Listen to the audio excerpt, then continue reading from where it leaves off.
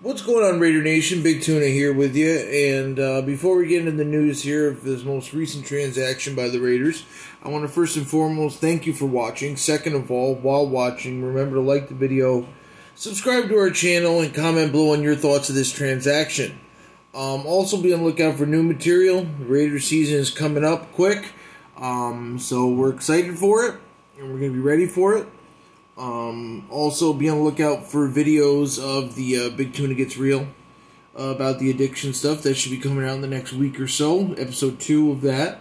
And also, like I said, any late breaking Raider news and sports news, stuff like that, we'll be here. We always are. So, the Raiders have been very thin at linebacker with injuries to Nick Morrow. Coons got hurt and you know they they released Aaron Lee. The Raiders need to go out and get somebody, and instead of signing KJ Wright, they made a trade here for Denzel Perryman, a former second round pick of the Chargers. Um, he was the 48th overall pick, I believe. Um, you know, the Raiders traded the sixth round pick of 2022 to the Panthers for a seventh round pick and Denzel Perryman, linebacker. Now, he is a middle linebacker, um, and he, I mean, he's a veteran guy. He knows what he's doing. Um, you know, he's not a big name or anything like that, but he's a solid starter. Um, he played for the Chargers. He's played for the Panthers. Um, and you know, honestly and truly, it's we're so thin at linebacker, anything can help. But the big thing is, is that Gus Bradley coached this guy, so I'm guessing Gus Bradley had some input here on the guy that he wanted to bring in for his defense. Now, him starting in middle linebacker, you know, with Morrow, looks like Morrow's injury is going to be worse than better, and you know, with Littleton Kwiatkoski, Tanner Muse, um, and with Javin White being out, you know, it's just it's it's gonna be, you know, linebacker by committee, and it sucks, but you know, this is what happens in the NFL. People get hurt, and things happen. Unfortunately for us, the Raiders, the linebackers didn't look half bad, especially with Morrow re-signing um, and with White looking better and Muse looking better after having an injury plagued rookie season, you know, I was excited. But now we've got more on the bench, Javin White on the bench. Uh, you know, Darron Lee was released. Um, you know, now we got Kwiatkoski, Littleton, Richardson, Tanner Muse, and then Denzel Perryman. And I don't know if Perryman's going to actually start, but if he's, you know, better at middle linebacker, it makes me think that someone's going to be the odd man out here. And I'm guessing it's going to be, well, it might not be Tanner Muse. I mean, you got to think about it. Who's going to be the odd man out here? You know, is it going to be Littleton? Is it going to be Kwiatkoski? I really didn't think Kwiatkoski would be the odd man out, but he might be. Um, you know, who's going to get the yellow dot or the uh, green dot as well?